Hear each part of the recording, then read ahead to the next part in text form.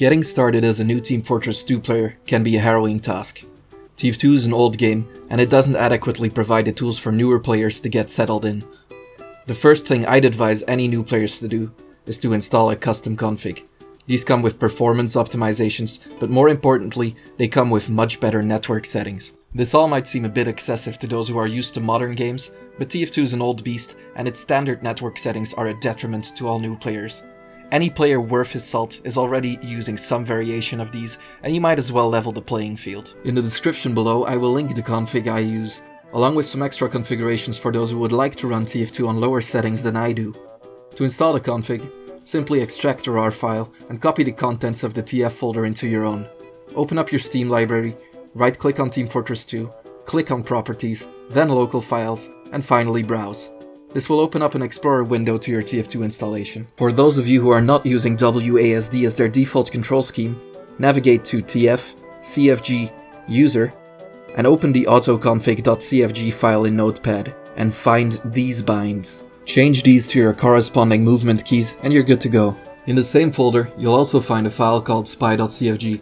Open it up, and at the top you'll find the undisguised button and the quick loadout change binds. Mine are set to mouse 4 and mouse wheel down. You can simply replace those two keys by the ones you'd prefer, but I would strongly urge you to bind these on your mouse or other buttons that are within quick reach since they are both lifesavers. If you'd rather run TF2 on lower settings, within the file you've downloaded there's a folder named Other Configs, each one of them sorted from highest quality to lowest, with a small description for each of them. Simply choose the one you'd prefer and navigate to TF, Custom, and delete all files called Mastercomfig Medium High preset.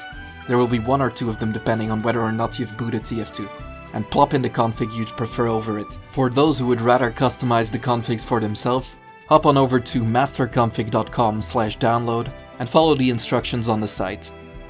Next up are a series of in-game settings we need to adjust. Start your game and open the options. Scroll down until you reach the class-specific skills and bind the button for Spy Last Disguise.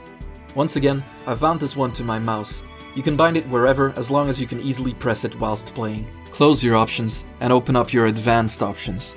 Make sure to enable both automatically reload weapons and fast weapon switch.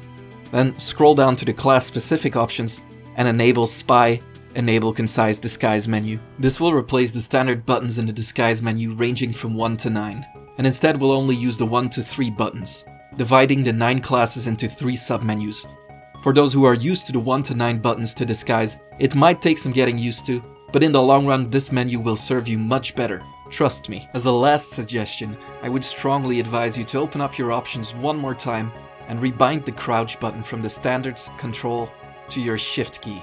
Shift isn't used in standard TF2, and this will lead to a much more comfortable hand position. Crouching is an integral part of the game, and thus you'll be using it all the time. As a final note, I'd like to briefly touch on the subject of mouse sensitivity. These settings can be found in the options under the mouse tab. Make sure to enable raw input and disable mouse acceleration. Mouse acceleration does exactly what it sounds like. The faster you move your mouse, the higher your in-game sensitivity will be. As a spy, you'll be making fast and jittery movements all the time, so mouse acceleration will likely be a detriment in the end. Mouse consistency is often key in shooters, but if you're absolutely vehement in keeping it on since you're already used to it, you can enable it. You do you. As for sensitivity, I strongly believe that this is preference. Find a good balance for yourself.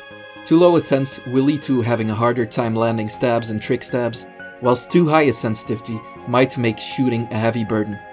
Find the sensitivity you yourself are comfortable with and don't fall into the rabbit hole of letting other players tell you what the absolute best sensitivity is. Just be sure to experiment with it. That's it. Now you're good to go. I hope to see you in the other parts of the tutorial. P.S. If there are any of you out there watching my videos using AdBlock, good. YouTube hasn't paid me a cent in four years anyway.